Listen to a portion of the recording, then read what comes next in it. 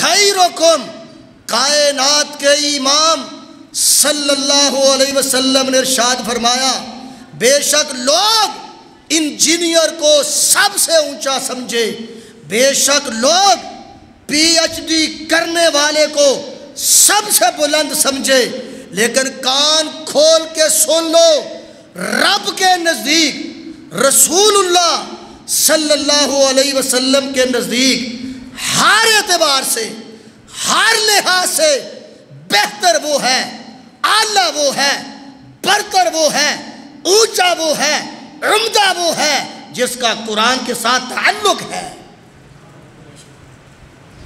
खैरुकुम, क्या माने? हर एतबार से। हर लिहाज से उलमा को हकीर समझने वालों, हुफाज को हकीर समझने वालों, कि मैंने बच्चा हाफिज नहीं बनाना, आलम नहीं बनाना, ये तो मसीतड़ बन जाएगा, फ़कीर बन जाएगा।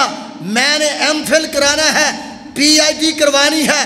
करवाओ, हम उसकी मुखालफत नहीं करते, लेकिन कान खोल के सुन लो, अगर तुमने बेटे को दीन का इलम ना पढ़ाया, ना सिखलाया, सिर्फ़ दुनिया का इलम सिखलाया, क़यामत के दिन इसका जवाब देना पड़ेगा।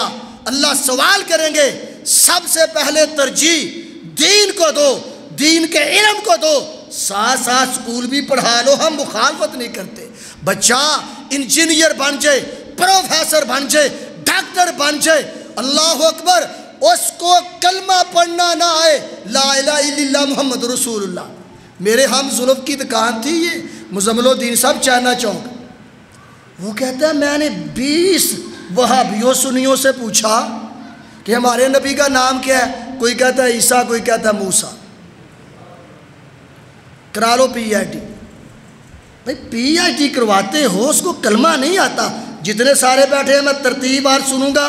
सिर्फ़ पाँच छः को कलमा सही आएगा।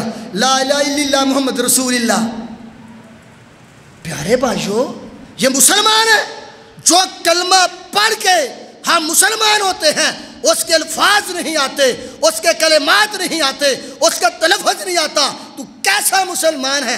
वहाँ भी सुननी है। तेरा वक्त तो गुजर गया।